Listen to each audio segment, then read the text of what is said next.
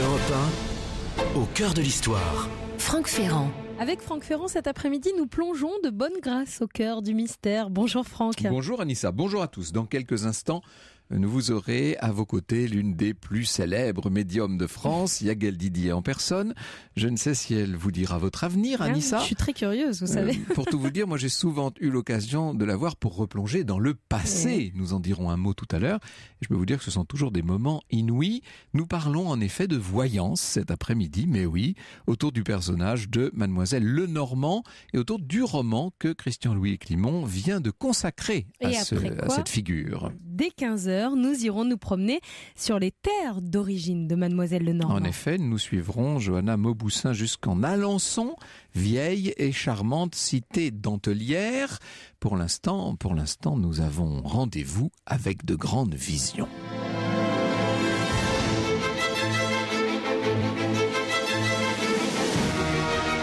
Europe 1, 14h, 15h30.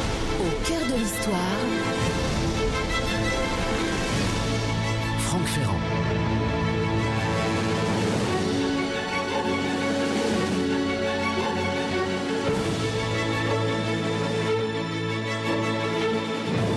Le 27 juin 1843, 1843, devant l'église Saint-Jacques du Haut-Pas, nous sommes dans l'actuel 5e arrondissement de Paris, un convoi funéraire se met en branle en direction du cimetière du Père Lachaise, un petit peu plus loin, même assez loin, sur la rive droite.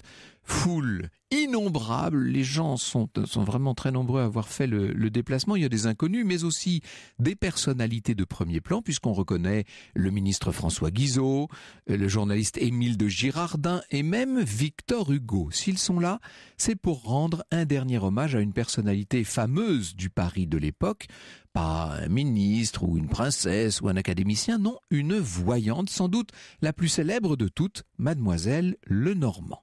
Avec sa disparition, on peut dire que c'est une page qui se tourne car depuis un demi-siècle, les heures, euh, on peut dire depuis les heures très agitées de, la Révolution jusqu'au règne bourgeois de Louis-Philippe, Paris avait fini par s'habituer aux frasques de la Sibylle, comme on l'appelait, à ses étrangetés, à ses prophéties. À l'en croire, les plus grands ont cherché à savoir leur avenir. Ils ont voulu euh, consulter ses lumières. Mademoiselle Lenormand quitte donc un monde qu'elle a pu, de par sa position tellement particulière, connaître peut-être mieux que personne d'autre. Pour comprendre cela, pour, euh, euh, pour se remettre dans, dans l'esprit de l'époque, il faut retracer sa vie peu commune. La tâche n'est pas facile. Mademoiselle Lenormand a elle-même réécrit sa légende et elle a constamment mêlé le vrai, le faux, jusqu'à les confondre. Elle était née en mai 1772, cette Marianne Adélaïde Lenormand, 72 donc à la toute fin du règne de Louis XV. Son père vit à Alençon, c'est un drapier d'Alençon comme il y en a tant euh, dans cette ville à l'époque. Sa mère euh, serait une jeune fille ravissante mais d'assez basse extraction. Marianne est leur troisième enfant. On lui donne le même prénom qu'une sœur aînée disparue. Et certains disent que déjà, c'est ce qui l'aurait amené à nouer un lien assez particulier avec cette âme sœur, c'est le cas de dire, hein, qui était déjà passée de l'autre côté. Signalons que dans leur voisinage vit Madame Hébert, la veuve d'un orfèvre, et qui a un fils qui s'appelle Jacques René. Ai-je besoin de vous dire que c'est le, le célèbre, l'horrible Hébert de la Révolution française Vous savez, oui, c'est comme ça, c'est bizarre. Les premières années de Marianne sont marquées par les épreuves. Elle perd son père alors qu'elle n'a seulement euh, qu'un qu'un an. Un petit peu plus tard, elle perd sa mère, euh, qui entre-temps s'était remariée, et les enfants sont alors confiés à leur beau-père.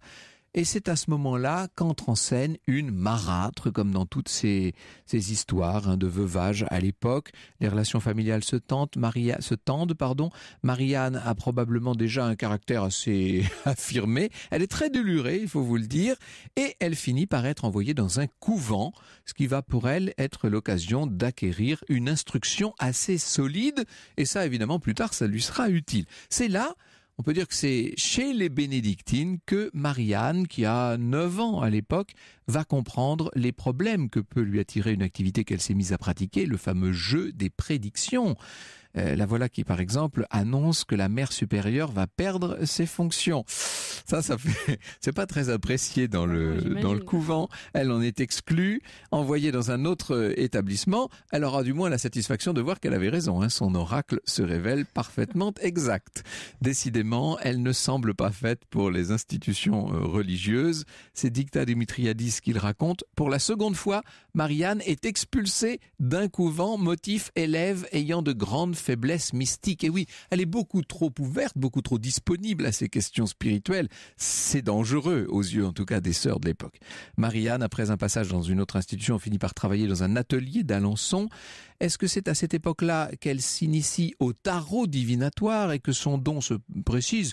C'est très possible.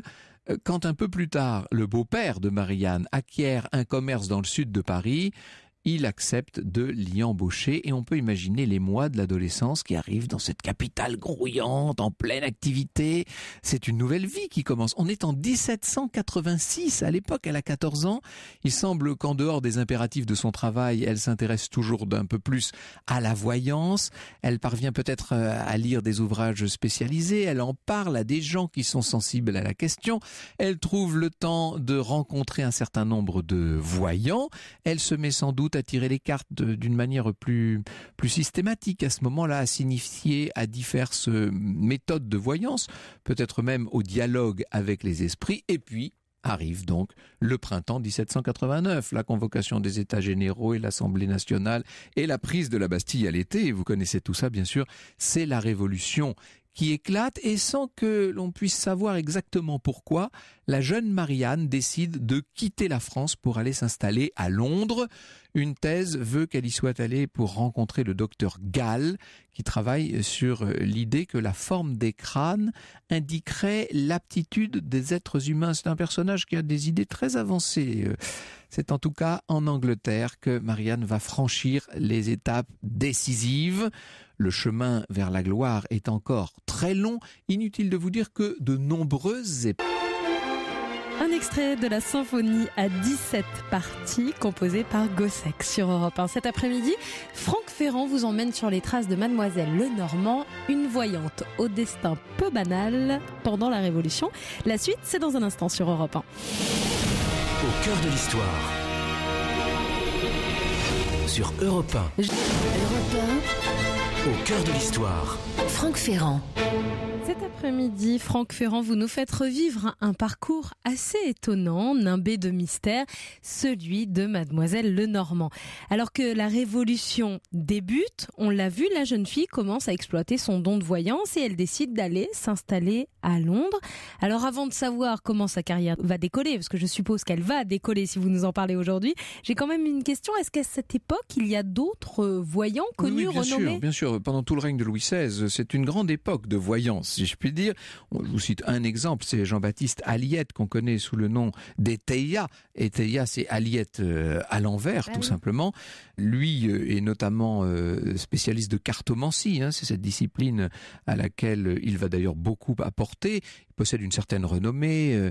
on peut dire qu'il va inspirer un certain nombre d'autres médiums de l'époque. Et dans son roman, Christian Louis et Climont nous dit dans le Paris des sortilèges filait le nom d'Eteia. À son égard, les avis divergeaient, ou bien encensé en homme d'Isère, franc-maçon de haut rang, ou bien épinglé pour son extraction ambiguë de grainetier, sinon de barbier recyclé dans la divination. Dans les faits, un petit homme quelconque, mais suffisamment enjôleur pour convaincre ses fidèles de ses perceptions. Il semble que Marianne ait été familiarisée assez tôt avec les fameuses techniques euh, d'Eteia. Il n'est pas impossible d'ailleurs qu'elle l'ait rencontré, puisqu'elle arrive à Paris au moment où il est encore pleinement en activité, bien sûr. Alors, maintenant, en 1789, c'est à Londres que nous la retrouvons. Elle a 17 ans, elle est déjà très, très active. faut imaginer une jeune fille un petit peu boulotte. Le physique est plutôt ingrat. Elle a une mine assez, assez euh, rougeaude, mais un tempérament très décidé. C'est en tant qu'astrologue, je précise bien en tant qu'astrologue qu'elle s'installe dans un premier temps dans la capitale euh, anglaise. Alors elle a énormément de psychologie, elle sait y faire avec, euh, avec les clients, elle est très douée, très entreprenante pour se faire euh, connaître et par le jeu du bouche à oreille, on sait qu'un certain nombre de personnalités prestigieuses viennent consulter ces oracles d'astrologues, je dis bien. On prétend même que le prince de Galles en personne figurerait dans, sa, dans son illustre clientèle et elle aurait dit au prince de Galles que Louis XVI allait perdre sa couronne. Ah bah tiens. On est quand même fin 89, début 90, vous voyez, euh, trois ans avant l'exécution de, de Louis XVI. Hein. Au bout de quelques mois, la France euh, lui manque, elle a le mal du pays, qu'est-ce que vous voulez, elle décide de rentrer. Quand elle se retrouve à Paris, elle accepte une position de lectrice chez un vieil aristocrate qui s'appelle Monsieur d'Armanval de la Saussotte. Euh, c'est à cette période, sans doute, qu'elle a le plus, le plus de mal à se faire une idée sur son propre avenir. Est-ce qu'elle va franchir le pas d'une certaine manière? Elle s'interroge sur sa vocation. Elle écrit des pièces de théâtre. Elle voudrait devenir euh, écrivain. Mais c'est bien avec la voyance qu'elle va trouver sa voie. Euh, elle loge rue de Tournon à l'époque, sans doute euh, d'ailleurs par l'entremise d'une connaissance installée dans la même rue, son ancien voisin Alençonnet, le fameux Hébert, Hébert. qui est en train de devenir ce- cette espèce de, de journaliste enragé de la Révolution. Marianne, sans rencontrer un véritable succès, commence à recevoir un certain nombre de clients, des gens de toutes conditions. Et, à l'en croire, elle aurait reçu le comte de Provence, ce qui n'est pas très étonnant puisqu'elle est rue de Tournon et que lui réside euh, au Luxembourg, vous savez, donc après tout, pourquoi pas? Elle reçoit la princesse de Lamballe et Fouché ou Camille Desmoulins. Bref, vous voyez quand même du, beau monde.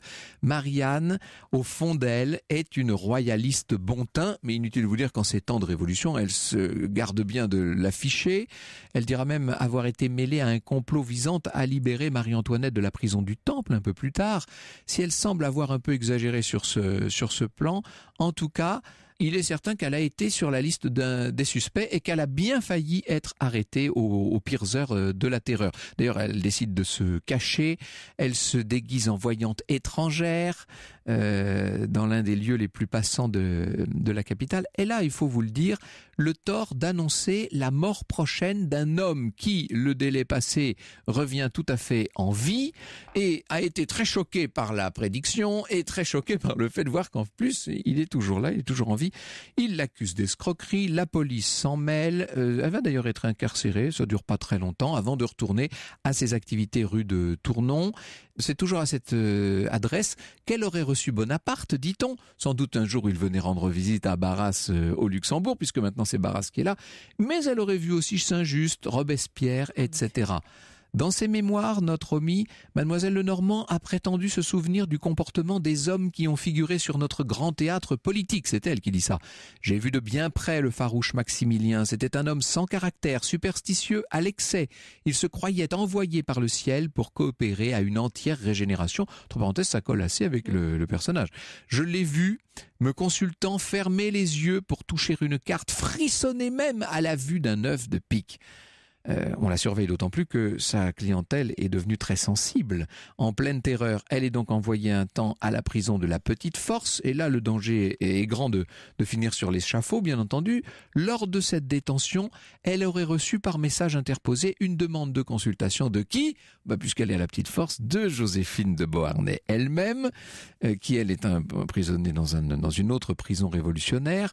Marianne lui aurait annoncé non seulement qu'elle allait survivre à la Révolution, mais un destin exceptionnel, un destin de souveraine. Et une chose paraît avérée, désormais les deux femmes vont se revoir et elles vont se revoir dans des conditions bien différentes que les conditions tellement obscures de cette terrible année 1794. Cet après-midi, Franck Ferrand vous plonge au cœur de l'histoire de Mademoiselle Lenormand, cette voyante de la Révolution et de l'Empire.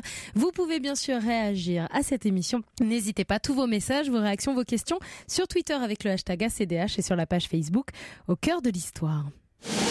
Europe 1, au cœur de l'histoire. Europe 1, au cœur de l'histoire. Franck Ferrand. Cet après-midi, Franck Ferrand, vous partagez avec nous le destin d'une jeune voyante en plein cœur de la Révolution qui, pour l'instant, semble ne pas se tromper du tout sur ses prédictions. hein. Elle souhaite un grand destin à Joséphine de, de Beauharnais. Nous sommes en 1794 Eh à oui. ce moment-là. Alors, au moment de la chute de Robespierre à Thermidor, euh, évidemment, elle est libérée, mais Mhm. sauf qu'elle est libérée pour quoi faire? Sa situation financière est effrayante, c'est l'époque des vaches maigres, elle va néanmoins bientôt pouvoir compter non seulement sur la réputation qu'elle a fini par s'acquérir dans un, j'allais dire dans le tout Paris de l'époque, mais évidemment sur le soutien d'un certain nombre de hautes personnalités Ah bah oui. du directoire, Elle dont Joséphine, bien sûr, voilà. Et elle devient la voyante qu'il faut aller voir. Elle va pratiquer toutes sortes d'arts divinatoires à ce moment-là, la chiromancie, l'horoscope, les mares de café, l'oomancie. Vous savez ce que c'est l'oomancie. C'est la, la divination dans les œufs. On casse un œuf et on lit ce qui se Ah bah passe. voilà. Elle devient, euh, mais oui, vous savez, euh, ça, nous, nous en parlerons tout à l'heure avec Yael Didier. Il faut bien que la vision s'appuie sur quelque chose, et ça peut être entre nous à peu près sur n'importe quoi. Il faut juste quelque chose qui accroche l'attention du, du médium. Dans son cabinet, elle pratique donc toutes sortes euh, d'arts. Alors, bien sûr que en fonction des, en fonction des clients, elle demande quelques francs aux modestes, mais des Ah oui, centaines aux gens. Bah, évidemment. Et C'est aussi à partir de cette époque que Joséphine donc euh, devient sa cliente la plus euh, prestigieuse. Elle lui a prédit son mariage avec Bonaparte, euh, etc. Jusqu'au couronnement, vous imaginez. Donc tout ça crée une proximité entre les deux femmes. À quoi ressemble-t-elle notre euh, mademoiselle Lenormand à ce moment-là? Elle a une trentaine d'années. Dorothée de Courlande, citée par Dicta Dimitriadis, nous la décrit de la manière suivante. Je cite elle avait l'air âgée de plus de 50 ans lorsque je la vis. Sa taille était plutôt élevée, ses façons brusques, sa robe noire, lâche et traînante, son visage d'une mauvaise couleur mêlé de dents gâtées, ses yeux petits, vifs et sauvages, sa physionomie rude et curieuse tout à la fois, la tête découverte, les cheveux gris, hérissés et en désordre, achevant de la rendre repoussante. Je fus tellement soulagé en la quittant. Eh ben, quel portrait, dites-moi. Ah oui, ça donne pas envie. On n'a pas envie de la rencontrer. Mais en même temps, les gens vont la voir quand même parce qu'elle leur dit ce qu'ils attendent de savoir. Les autorités impériales se méfient quand même beaucoup. C'est vrai qu'elle est proche d'un certain nombre de personnalités très, euh, très euh, proches du pouvoir. Euh, Fouché, euh, qui pourtant l'a consulté, semble-t-il. Mhm. Fouché n'est pas très tendre avec elle. Ça va d'ailleurs lui valoir un certain nombre de petites incarcérations. Ça dure jamais longtemps. Euh, à la fin de 1809, Napoléon franchit le pas de la répudiation de Joséphine, vous savez.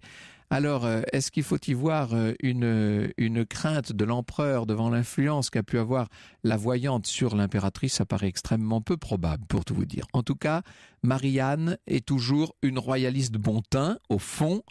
Elle va mettre en avant d'ailleurs un certain nombre d'ennuis qu'elle a eus avec Napoléon au moment où les Bourbons remontent sur le trône et où il faut lui se faire une nouvelle virginité.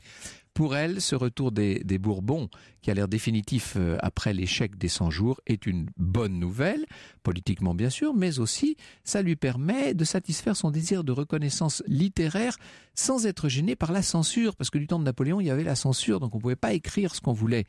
Dans les années qui suivent, donc, elle publie ouvrage sur ouvrage avec Souvenir prophétique d'une Sibylle, ça c'est début de 1815, La Sibylle au tombeau de Louis XVI. On peut pas dire qu'elle connaisse tout de suite un, grand succès. Elle est même l'objet, disons-le, d'un certain mépris de la part des amateurs euh, de littérature. Il n'empêche, elle s'est fait maintenant définitivement un nom. Et bien au-delà du petit cercle des personnalités de, de pouvoir, certains n'hésitent pas à la singer sur la scène du théâtre sous, sous les traits de Mademoiselle Le Gascon. C'est une reconnaissance finalement. C'est un peu comme avoir sa marionnette au guignol à une certaine époque. Comme le raconte Dicta Dimitriadis, Marianne réagit avec panache. Dès les premières représentations, elle retient une loge bien en vue d'un public qui la reconnaît et se gausse. Et à la fin du spectacle, quand le rideau se relève, debout dans sa loge, elle salue les acteurs, le public l'ovationne.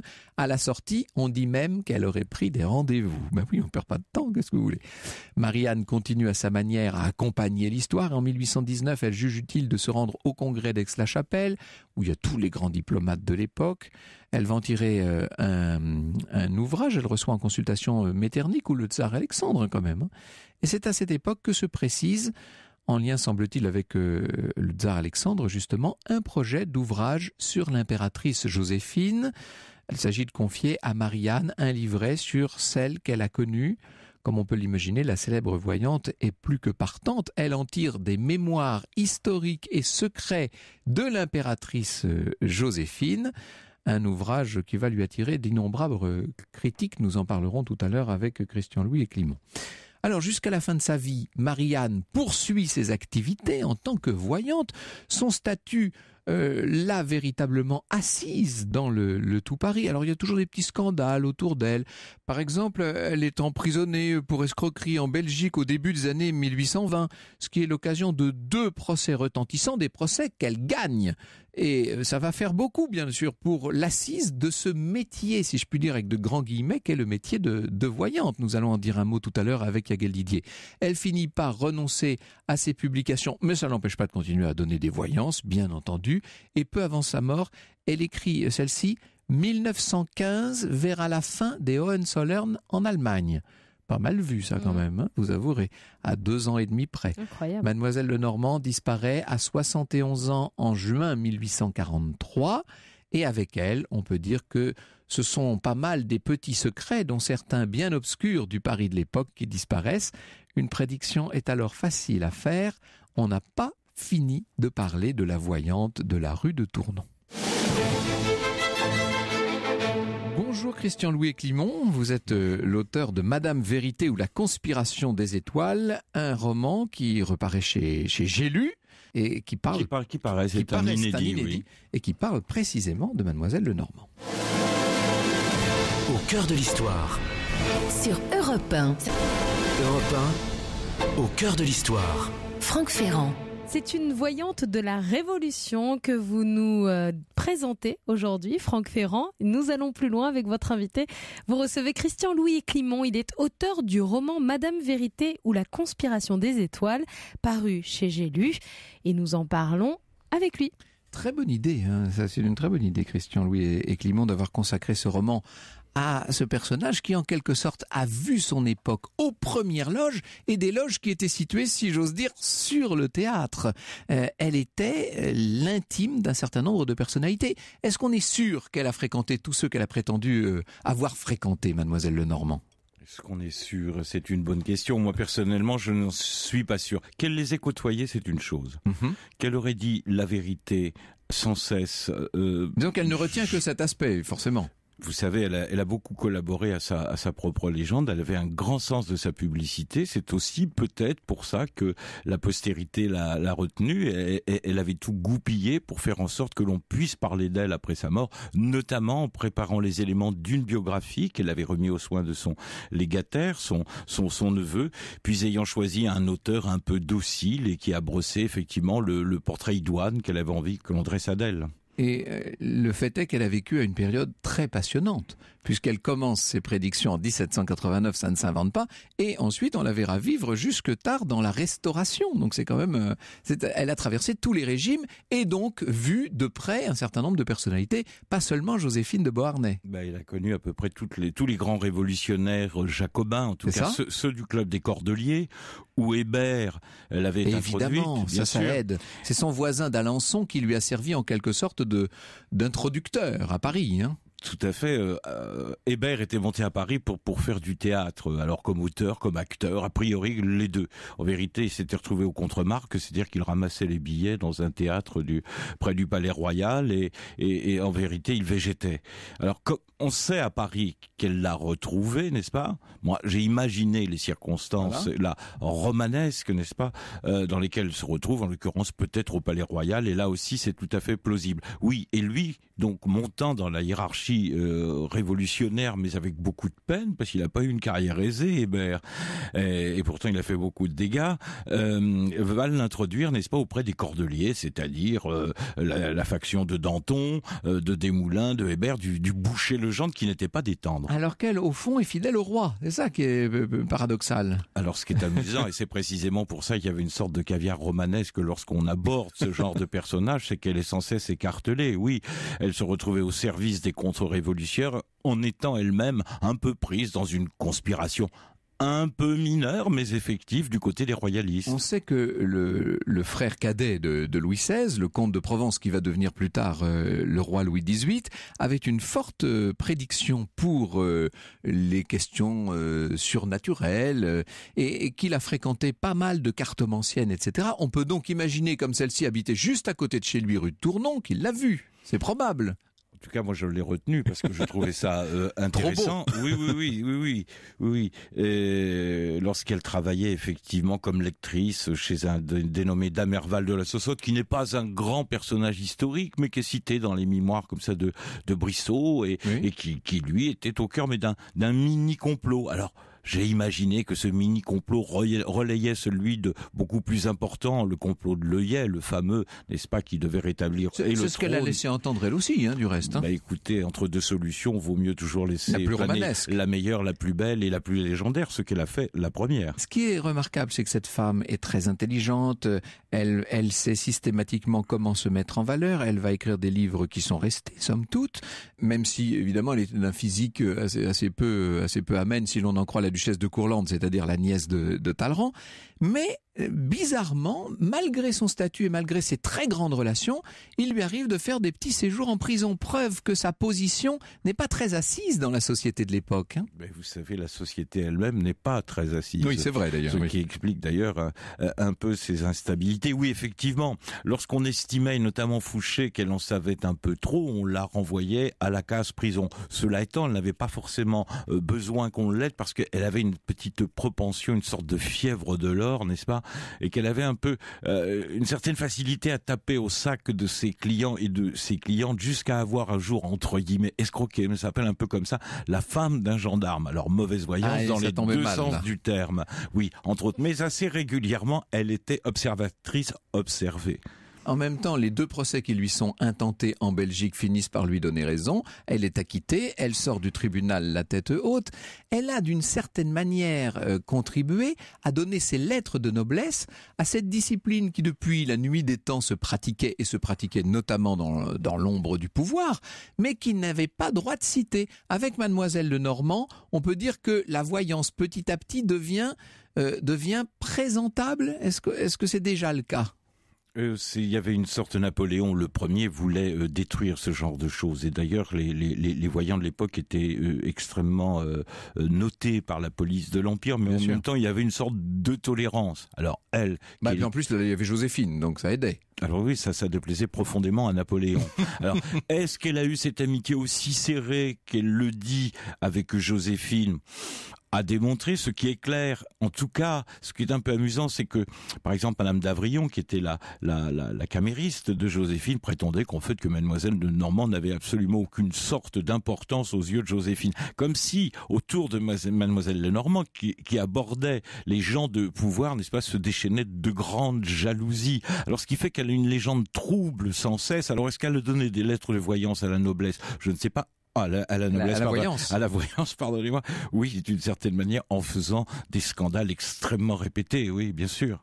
Eh bien, justement, dans un instant, nous allons accueillir euh, le très lointain successeur de Mademoiselle Lenormand, la célèbre médium Yagel Didier, qui va nous dire comment, justement, elle a vu évoluer la position des voyantes dans notre société depuis quelques décennies maintenant. Au cœur de l'histoire. Au cœur de l'histoire. Franck Ferrand.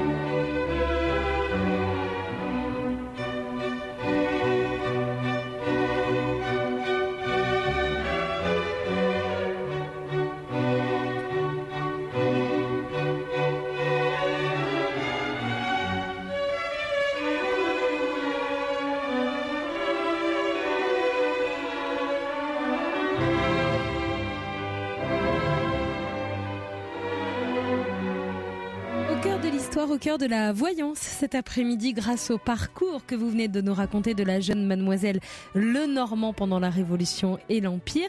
Christian Louis et Climont, auteur du roman Madame Vérité ou la conspiration des étoiles paru chez J'ai lu est toujours avec nous et vient de nous rejoindre cet après-midi en studio sur Europe 1, la célèbre médium Yagel Didier. Bonjour Yagel Didier. Bonjour. Merci beaucoup d'être avec nous.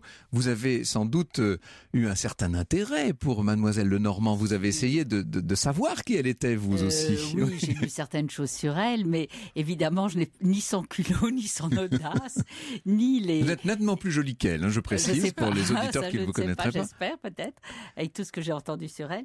Mais euh, je trouve que c'est quand même un personnage avec un culot et une audace absolument folle, ce qui n'est pas du tout mon cas. Moi, je suis beaucoup plus réservée, beaucoup plus sage. Mais peut-être que c'est, si je puis aussi. dire, c'est peut-être plus, voilà, c'est peut-être Oui. plus facile C'est aujourd'hui. beaucoup plus facile, oui. Je veux dire que lorsque j'ai décidé, vers l'âge de 24-25 ans, de, de- d'en faire, euh, un peu- peut-être un peu plus tard, une activité sérieuse, je dois dire que j'ai eu quand même quelques mal. C'était Oui. très compliqué par rapport à ma famille. Vous savez, euh, maintenant, ça y est, je pense que c'est passé un peu dans les mœurs, mais à l'époque, euh, c'était un peu vis-à-vis de ma famille. En tout cas, c'était très compliqué. Pendant des années, euh, je n'ai rien dit à part maman. Et, et j'ai commencé à le dire quand on, on a commencé à parler de moi dans les journaux. Parce que là, tout d'un coup, ça devenait Oui, il un fallait peu bien plus... faire quelque chose. Et puis, c'était plus, c'était plus euh, honorable peut-être à partir Exact- du moment. ouais. Exactement. Et puis j'ai eu la chance, si vous voulez, de.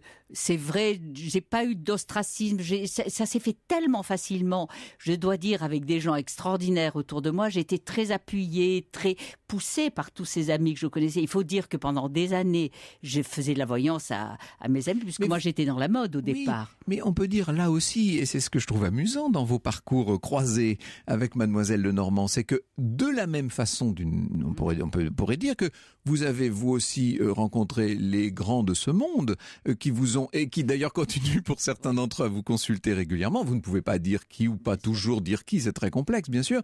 Mais à côté de ça, il y a, vous êtes dans un double statut, c'est-à-dire que d'un côté vous êtes la pitié euh, dont on veut absolument avoir les avis, et puis d'un autre côté vous êtes la voyante, c'est-à-dire euh, qu'on le veuille ou non, ça ramène à tout le statut des anciennes diseuses de bonne aventure, ce qui n'est pas socialement euh, très élevé. Voilà. Donc c'est- très ambigu comme position. C'était assez compliqué, mais je le répète, j'ai eu beaucoup de chance parce que finalement, lorsque j'ai décidé vraiment d'en faire un métier, autour de 26-27 ans, je crois, ou 30 ans, je ne sais plus exactement, le temps passe si vite, euh, que euh, j'ai eu tous ces gens assez extraordinaires qui m'ont poussé. J'évoluais déjà dans un milieu de gens, voilà, qui m'ont euh, qui m'ont vraiment aidé. Donc je n'ai pas senti de d'ostracisme, de problème voilà, du tout, non. du tout. Ça a été très C'est plutôt, Très facile. c'est plutôt une, une certaine presse suspicieuse qui vous a fait des, des misères parfois. C'est-à-dire que euh, il y a forcément des gens qui, étant très sceptiques, euh, sont par essence et par principe opposés à la voyance. C'était surtout lorsque je faisais,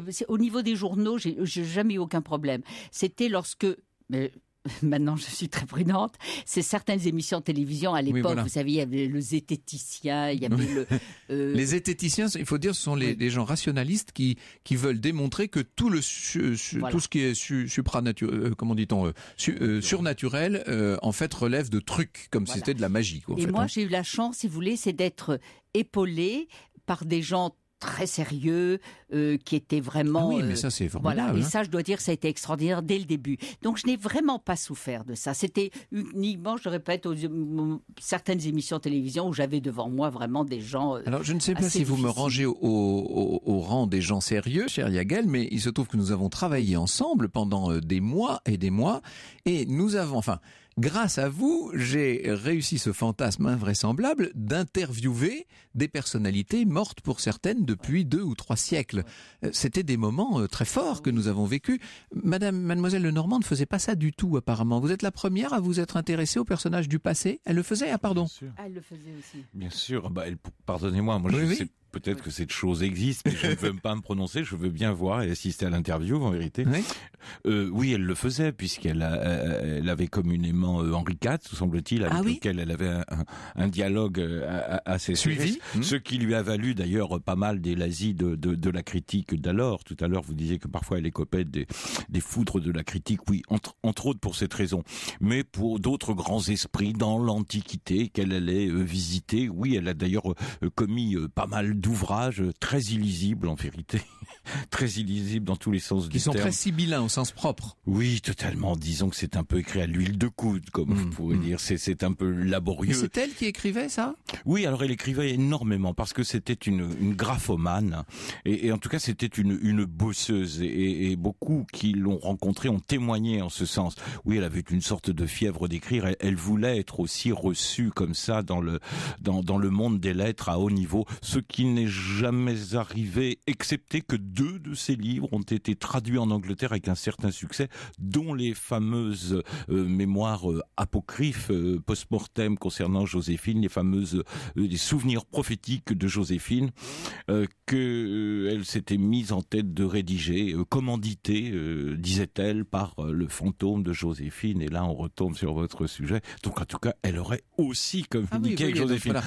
Pour ma part, j'en doute limite, un peu. mais la- oui, mais en même temps, c'est presque rassurant de savoir qu'elle l'a fait parce que je ne vois pas comment quelqu'un euh, en possession d'un don comme le vôtre, et je me rappelle une émission d'Arte qui avait montré euh, l'activité du cerveau d'Yagal Didier dans les périodes de voyance. Que, euh, il y avait là un, un professeur, le docteur Attias, qui, qui surveillait ça et qui disait qu'il n'avait jamais vu euh, les deux hémisphères cérébraux fonctionner comme En ça même en même temps. C'était Oui, assez spectaculaire. Bon, mais on, on ne voit pas pourquoi quelqu'un qui, qui disposerait de, de ce don-là euh, ne le ferait fonctionner que pour l'avenir, puisque vous dites vous-même, Yagel, que c'est presque plus facile et plus agréable pour vous de le faire avec le passé qu'avec Bah l'avenir. oui, parce que bon, à la limite, euh, on voit tout de suite si on est dans le vrai ou pas. C'est vrai que je me suis beaucoup amusée.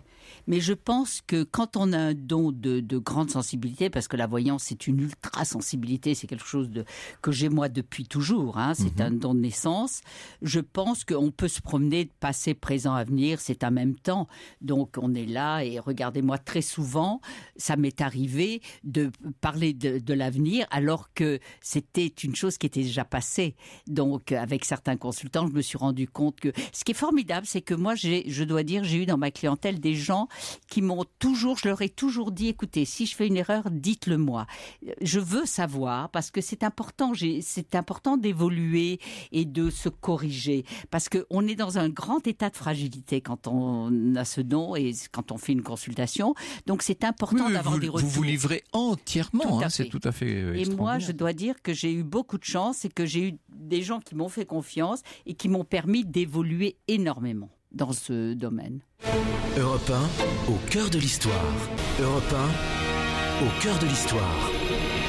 Franck Ferrand. Cet après-midi sur Europe 1, Franck Ferrand nous emmène au cœur de l'histoire de cette jeune voyante, mademoiselle Lenormand. Enfin, elle était jeune au début. Jeune au début pendant la Révolution et qui ensuite a continué de transmettre son don sous l'Empire. Bref, elle a traversé les époques et nous parlons d'elle avec Christian Louis et Climont qui est auteur de romans, Yagel Didier qu'on ne présente plus, la célèbre médium, et vient de nous rejoindre en studio celle qui sera notre guide de 15h à 15h30.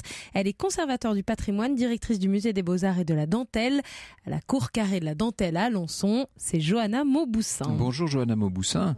Alors, euh, je crois, d'après ce que vous me disiez, que mademoiselle Lenormand n'a pas vraiment laissé de souvenir à Alençon. Hébert, oui, on parle encore d'Hébert, mais pas de mademoiselle Lenormand ou peu. C'est vrai, assez peu finalement. Le marquage, l'ancrage territorial euh, de, de Mademoiselle Lenormand à Beaucoup Alençon plus parisien, en fait, hein, est tout très simplement. ténu, effectivement. Mais euh, lorsque l'on évoque euh, les femmes célèbres d'Alençon, elle ressort euh, systématiquement. Est-ce que vous ne trouvez pas, euh, Yagel Didier, que justement Paris euh, a joué avec elle à peu près le même rôle qu'avec vous, si je puis dire C'est-à-dire que Paris, qu'on le veuille ou non, euh, dans un certain milieu de, disons, de la haute société, est un petit milieu et qu'on se redonne les bons conseils très rapidement. Donc, euh, lorsque quelqu'un a vu des choses pour un pour un consultant, eh bien ça se sait très vite. Ça fait comme une traînée de poudre en fait. Ah hein. oui, ça, j'ai eu beaucoup de chance. Mais elle aussi, d'ailleurs, on Oui, voit oui. ça, ça fonctionne un peu de la même manière de ce point de vue. C'est intéressant de voir que euh, on peut, la, la comparaison ne peut pas être poussée jusqu'au bout. Mais enfin, quand même, vous êtes, euh, vous avez l'une comme l'autre, Mademoiselle Lenormand dans les années 1800-1810, vous euh, beaucoup plus proche de nous, régniez, on peut dire, sur ce monde de la voyance, et des points communs sont incontestables entre vos parcours, et notamment des gens qui euh, vous font confiance. C'est peut-être le fond, hein, c'est peut-être le mot. On a besoin de cette confiance. Je veux dire que quand- lorsque vous avez des retours très positifs, ça vous pousse. Enfin, je veux dire, ça vous, ça vous soutient, ça vous, ça vous montre comme ça. Alors, de temps en temps, je ne dis pas qu'il n'y a pas eu euh, des, des critiques euh, même assez violentes, mais j'ai toujours dit aux gens, n'hésitez pas à critiquer parce que c'est ça qui va me faire avancer. C'est ça qui va me faire comprendre tous les pièges aussi de la vision parce qu'il y a des pièges évidemment, la transmission de pensée, donc télépathie, l'émotionnel trop fort, la trop grande empathie avec l'autre qui fait qu'on a envie de lui dire des choses qu'il a envie d'entendre. Donc tout ça est extrêmement ténu et c'est très important d'avoir ce retour. Moi j'ai toujours dit aux gens, je vous en supplie, ne me faites pas de cadeaux. Moi, je vous connais depuis très longtemps. Est-ce que, de façon euh, privée et pas du tout comme client, hein, pour, pour vous avoir vu comme ça dans votre vie par ailleurs, et je peux témoigner d'une chose, c'est la très grande discipline que ça suppose. Euh, J'ai souvent eu l'occasion de dire que vous aviez la vie d'un sportif de haut niveau, mais c'est ça, c'est-à-dire que ça ne suppose aucune forme de relâchement ou de facilité. Hein. Vous êtes, euh, on a l'impression que chaque voyance, et Dieu sait qu'il y en a eu des milliers et des milliers, mais chaque voyance est une remise en cause entière en fait. À chaque fois, à chaque fois et depuis tant d'années, il y a aucun problème. Chaque consultation est une remise en question et j'ai toujours ce sentiment de me mettre en danger toujours. Et surtout parce que je pense que j'ai un profond respect pour les gens qui viennent me voir c'est important. J'ai une vie devant moi. J'ai très conscience de cette espèce de responsabilité euh, qui m'incombe. Donc, je fais très attention. Alors, je reste un être humain avec ses faiblesses et ses fragilités et ses erreurs, bien évidemment. Vous n'êtes jamais entré en contact avec euh, les, les mannes de, ma, de Mademoiselle Lenormand J'ai jamais essayé. Franck, on devrait essayer ensemble. de faire ça après l'émission, pourquoi pas. Euh, tout à l'heure, tout à l'heure, Anissa parlait de transmission, justement, Christian Louis Climont. comment est-ce que que Madame, euh, Mademoiselle Lenormand a su qu'elle disposait de ce don. Est-ce que quelqu'un l'a aidé à le, mettre en œuvre? Est-ce que euh, qu'on sait cela ou est-ce qu'elle est restée muette sur le sujet, tout simplement hein? Non, ce qu'on sait, c'est qu'elle a, elle a fait cette première voyance lorsqu'elle était à, à Saint-Germain-de-Montsort, qui était un institut religieux dans lequel mhm. elle avait été envoyée étant gosse, lorsque deux fois orpheline, en quelque sorte, elle se retrouve isolée dans cet établissement religieux et qu'elle prédit à la supérieure d'alors qu'elle va être évincée de l'institution au profit d'une dame un peu de profil un peu euh, massu, va-t-on dire, euh, rousse, et dont elle a donné les initiales. Et ça l'a quelque part instauré dans la carrière avec une aura de jeune sorcière, car elle a 12 ou 13 ans simplement à l'époque, et toute cette affaire se réalise. Dès lors, effectivement, dans Alençon, on parle d'elle d'une manière un peu sulfureuse, n'est-ce pas? Et, puis ensuite, elle vient à Paris. Alors, il y a diverses versions, vous savez. Autour de Mademoiselle Lenormand, il y a autant de mythes que ah de vérités. C'est très complexe. Hein. Et, l'important pour ce roman, n'est-ce pas, c'était de, remettre à jour une sorte de topographie exacte de, de, de, la maille historique. Est-ce qu'elle-même va transmettre euh, son savoir? Est-ce qu'elle est a des élèves, si je puis dire? Non, non, elle n'a pas d'élèves. Mademoiselle Lenormand ne travaille que pour son destin. Il, euh, par rapport à vous, il y a Didier, je pense qu'elle était nettement moins scrupuleuse. Elle, elle avait breveté un peu ce qu'ont les dentistes désormais, vous savez, qui vont d'un fauteuil l'autre comme ça, ça accélère. Eh bien, elle faisait six ou sept mancis, vous l'avez évoqué tout à l'heure dans votre dans votre récit. Alors aussi bien l'eau au manci, n'est-ce pas, par les œufs, qu'un petit coq qui picorait. Alors je n'ai plus exactement le nom. Mais, ça, ça, ne vous étonne pas, Yagel, parce que romaine. toutes les techniques sont possibles en fait. Les hein. techniques sont possibles. Moi, au début, je me souviens de, de cet euh, astrologue qui m'avait donné une boule de cristal, et je dois dire que j'ai pris la boule dans mes mains, j'ai demandé euh, un foulard noir parce que j'avais besoin qu'il y ait cette profondeur, et j'ai tout de suite vu. Ensuite, j'ai pris les mains des gens. Je faisais les lignes de la main. J'ai jamais appris. J'ai jamais appris. Il faut juste un support, mais c'est n'importe lequel en fait. Et d'ailleurs, les cartes, euh, le jeu de cartes, moi, je m'en sers comme support. Je ne crois pas au c'est pas je ne crois pas aux cartes en tant que carte, mais pour moi, en ce qui me concerne, la carte amène une intuition. Merci beaucoup Yagal Didier de nous avoir euh, rendu visite. C'était très intéressant d'avoir le, regard d'une voyante d'aujourd'hui sur cette voyante d'hier. Euh, il faudra qu'on fasse la séance avec mademoiselle Lenormand et je tiendrai nos auditeurs au courant de ce qui s'est dit. On a hâte de savoir. Christian Louis et Climont vous permet en attendant de découvrir le parcours assez invraisemblable et fantasque de cette Madame Vérité dans un roman intitulé Madame Vérité ou La conspiration des étoiles, et c'est publié de manière inédite chez J'ai lu. Dans un instant, nous partons pour Alençon. Au cœur de l'histoire, sur Europe 1.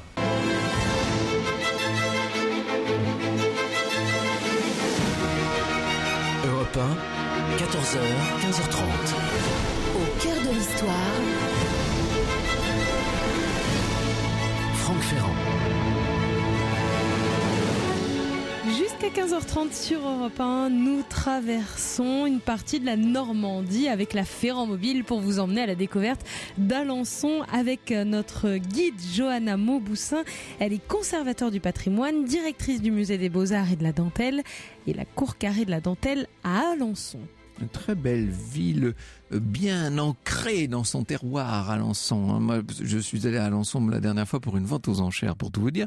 Mais j'ai été frappé par l'harmonie de tout ça, par toutes ces belles maisons de, pierre, euh, une espèce de pierre un peu brun, brun rouge, comme granitique, hein, tout simplement. Oui, tout à fait. C'est vrai que cette région de la Normandie fait appel énormément à cette, à cette pierre de granit, ce qui fait qu'on a cette belle homogénéité, parce qu'on a aussi un, un centre ancien qui est assez bien préservé dans le temps, avec des vestiges de la fin du Moyen Âge et de très très beaux témoignages aussi des époques 18e, 19e.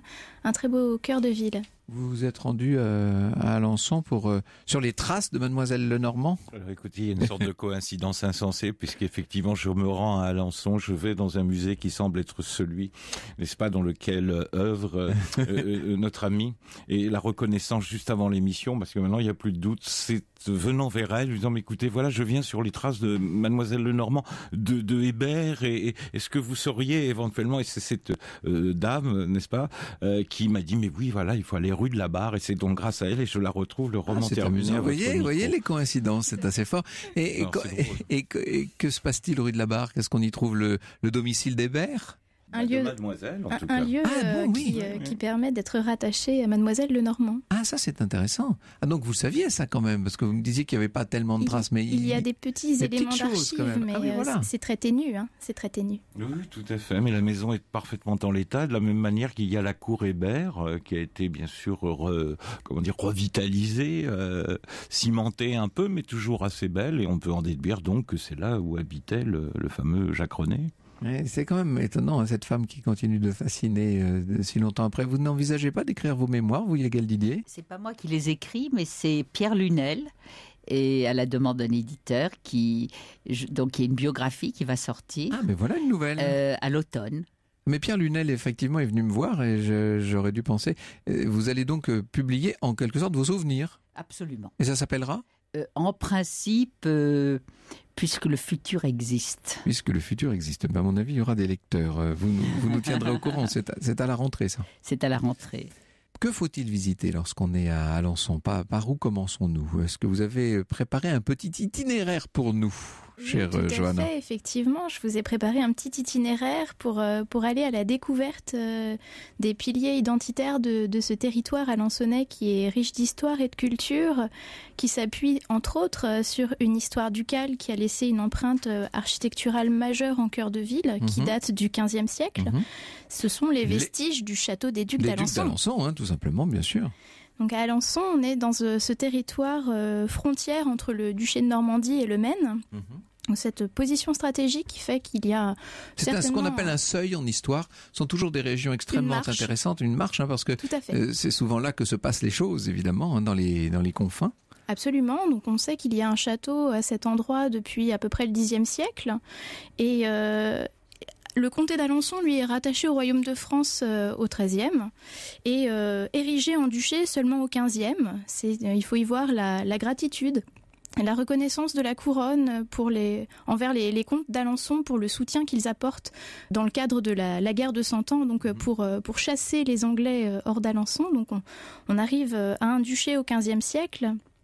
Parmi les figures remarquables qui, qui, habitent le château, on peut, on peut mentionner Marguerite d'Angoulême, future Marguerite de Navarre. Était duchesse d'Alençon. La sœur, en fait, de François Ier avait dans un premier temps épouser un duc d'Alençon qui ne va pas se comporter particulièrement bien à la bataille de Pavie et qui en mourra de honte d'une certaine manière. On ne sait pas exactement de quoi elle est morte du reste, mais euh, il n'empêche qu'elle était duchesse d'Alençon et qu'elle a donc vécu là. C'était la femme la plus extraordinaire de son siècle. On a, on, a souvent eu l'occasion de le dire ici. Et donc euh, pendant un temps, en tout cas, effectivement, duchesse d'Alençon.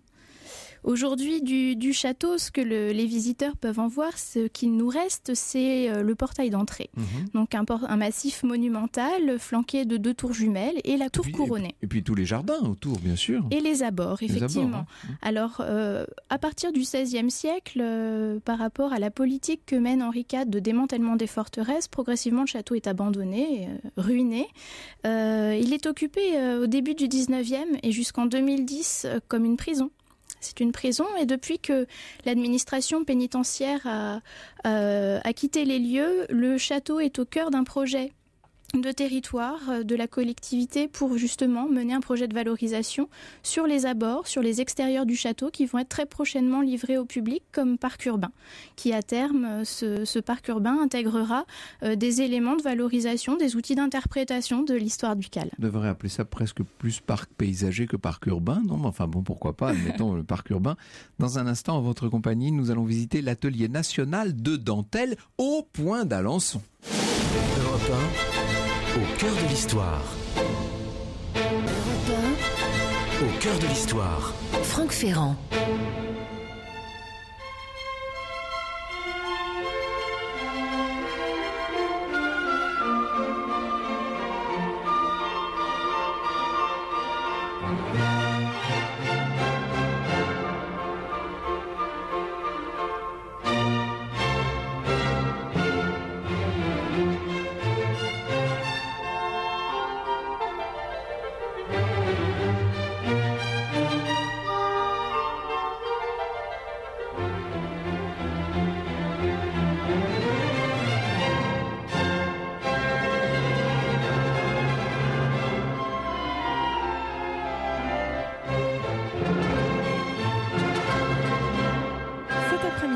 15h30 sur Europe 1. Nous visitons Alençon avec Christian Louis et Climont qui est auteur du roman Madame Vérité ou la conspiration des étoiles, un roman qui vous accompagnera peut-être cet été, en tout cas on vous le recommande.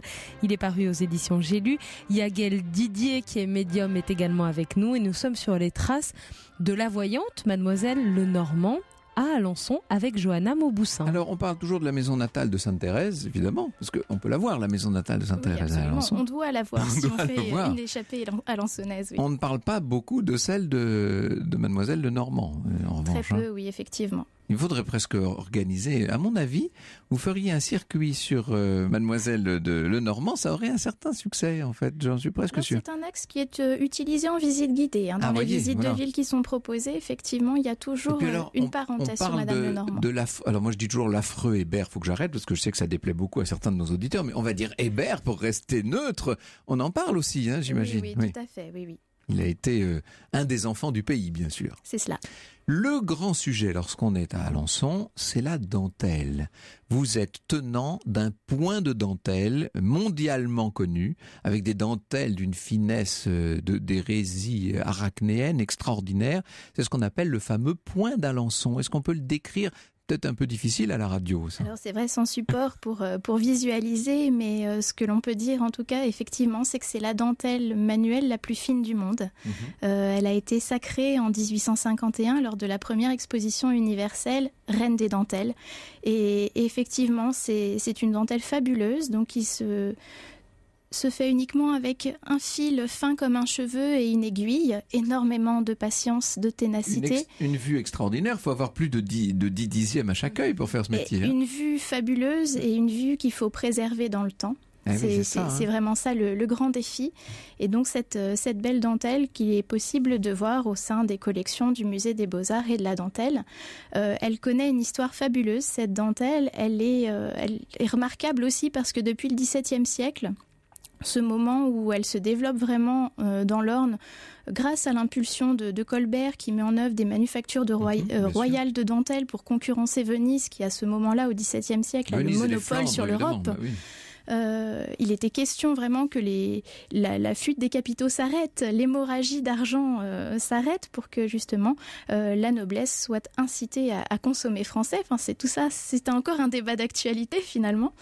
Cette dentelle, elle connaît une transmission qui est ininterrompue depuis, depuis le XVIIe siècle en Alençon et c'est vraiment ça aussi qui est remarquable. Ah, ça c'est magnifique, vraiment. donc Aujourd'hui, ce, savoir-faire de la dentelle au point d'Alençon est inscrit euh, sur la liste du patrimoine culturel immatériel de l'humanité, inscrit par, l'UNESCO depuis 2010. Euh, C'est une dentelle à l'aiguille, bien entendu, et qui, ça il faut le préciser, c'est ce qui la rend tellement merveilleuse, ça ne supporte pas la mécanisation. On n'est pas capable de faire une dentelle convenable, une convenable dentelle d'Alençon de manière mécanique. Hein. Il faut, c'est forcément à la main. Ça, c'est quand même forcément à la main. Cette dentelle qui est vraiment incomparable, elle ne supporte que l'intelligence de la main pour être exécutée. Magnifique, vraiment. Euh, ça, c'est un des très grands savoir-faire de France qu'il faut souligner. Alors, il y a un musée, bien sûr, euh, de la dentelle à, à Alençon, qui est en même temps en Alençon, dites-vous. D'ailleurs, c'est plus élégant, ça, ça évite le hiatus.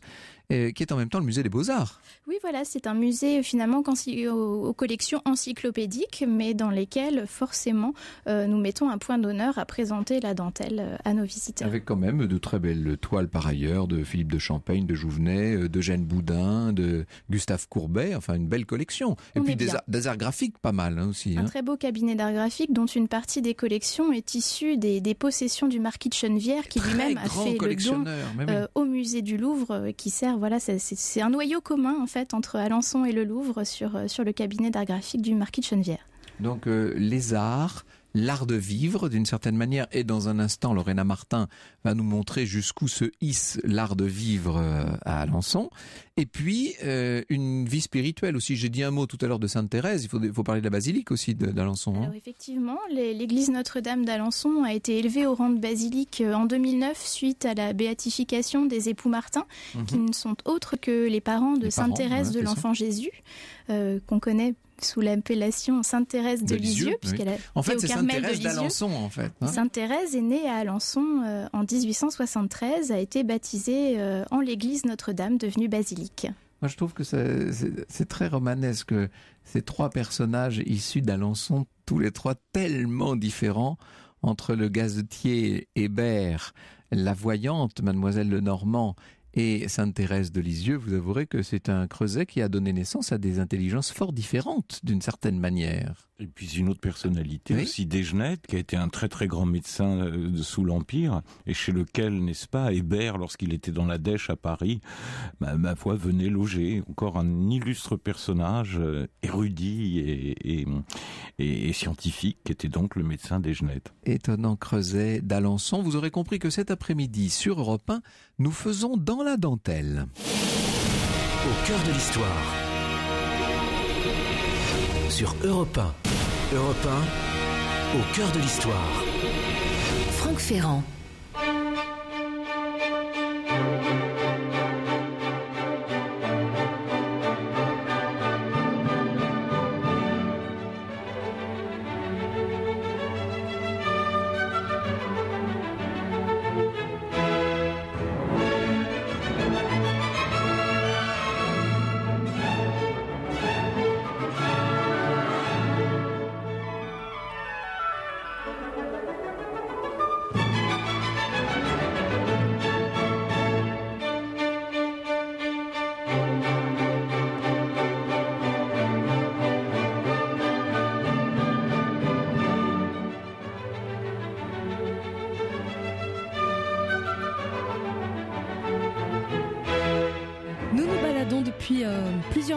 Maintenant à Alençon et je suis sûre que nous vous avons donné envie d'y aller passer quelques jours. Eh bien, prenez vite de quoi noter. Voici maintenant les bonnes adresses de Lorena Martin.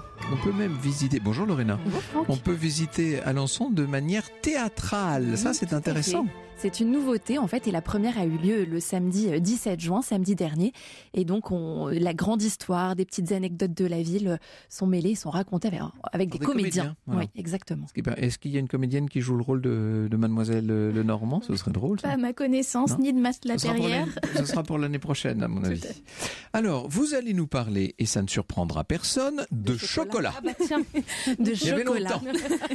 oui, comme par exemple les bouchons alençonnés, les pierres Notre Notre-Dame. C'est une spécialité de la chocolaterie Pedro. Mhm. Euh, ils sont confiseurs, chocolatiers depuis un, moment de, père en fils. Et en 1987, en fait, Jackie Pedro reprend à Alençon une chocolaterie fondée au 19e. Et il a choisi de perpétuer donc ces deux spécialités qui avaient été créées par son prédécesseur. Donc les bouchons alençonnais qui sont un biscuit croquant fourré praliné moelleux aux amandes grillées. Et le nom de bouchon vient de sa forme qui évoque le, bouchon d'une bouteille de Calvados et aussi mhm. les bouchons, les embouteillages formés à l'époque par les vacanciers sur la Nationale 12 ah, au départ d'Alençon. Un peu moins, poétique là d'un seul coup. Ah on vient de retomber de quelques degrés d'un coup. Et les pierres de Notre-Dame, ce sont des pavés fondants de pâte d'amande parfumés à l'orange avec éclat de nougatine et leur forme est inspirée des pavés de l'église Notre-Dame. Alors évidemment, nous n'allons pas euh, reparler de la dentelle. D'ailleurs, il faut dire que la dentelle, la vraie dentelle d'Alençon, coûte une fortune, mais c'est tout à fait normal, hein, puisque évidemment c'est un c'est un savoir-faire, euh, c'est un savoir-faire très coûteux. C'est tout ça est un travail à la main. Mais parlons de la dentelle euh, sucrée. Hein, voilà. en version ganache caramel parfumée à la pomme verte dans un écrin de chocolat noir ou au lait. Et c'est euh, appelé donc le point d'Alençon. On peut la trouver à la chocolaterie Glatini qui existe depuis une trentaine d'années. Et ils sont certifiés pur beurre de cacao. Donc c'est des chocolats assez artisanaux. Et ils ont créé et perpétué d'autres spécialités liées aux atouts de la région. Vous avez mhm. l'étrier normand. c'est aussi dans ça ou au non, euh, c'est au chocolat noir, juste euh, fourré au praliné, amandes et feuilletines. C'est en l'honneur bien sûr des chevaux et des nombreux haras qui entourent l'Orne. Oui, on aurait dû parler des haras d'ailleurs. C'est vrai que ça fait partie euh, intégrante du, patrimoine local. Et ça faisait, devrais-je dire, hélas, hélas et les Sieurs d'Alençon qui ont été créées donc par Jacques Glatini en 1970 en souvenir des anciens notables de la ville et du nom d'une rue du centre-ville. Alors je parlais de cidre parce que quand même euh, tout ce qui relève du cidre, de la pomme sous toutes ses formes, on est quand même là aux, portes de la Normandie, qu'on le veuille ou non. Hein. Exactement, vous avez donc euh, les, le cidre et le poiré aussi, euh, similaire au cidre mais avec des poires au lieu des pommes. Et vous avez une ferme notamment cidricole qui s'appelle Desfrièches qui se situe à Sainte-Marguerite de Carouge et donc la ferme en fait est entourée de 10 hectares de pommiers issus de l'agriculture biologique et un hectare de poiriers. Et ils produisent encore de manière traditionnelle des jus de pommes, des jus de poire, du cidre, du poiré, du pommeau de Normandie, des eaux de vie, du calvados, toute une sorte, toutes sortes de liqueurs. Tous ces gens-là sous la halle au blé d'ailleurs, non? Ça fait partie du. Oui, dans le marché des producteurs de pays, tout à fait. Oui, qui se réunissent cinq fois par an. Et donc les prochaines dates seront le 7 juillet ou le 29 septembre. On ne vend plus de, de chevaux dans la, dans la région? Alors c'est vrai que tout autour d'Alençon, il y a de nombreux haras encore. Il y a le haras national du pain à une cinquantaine de kilomètres, donc il y a quand même encore une énorme activité équine dans l'Orne. Bon. On est dans le Perche. Vous êtes finalement dans une des plus jolies et des plus euh, verdoyantes régions de France, qu'on aurait peut-être dû commencer par dire au début de, de cette demi-heure consacrée à, à Alençon.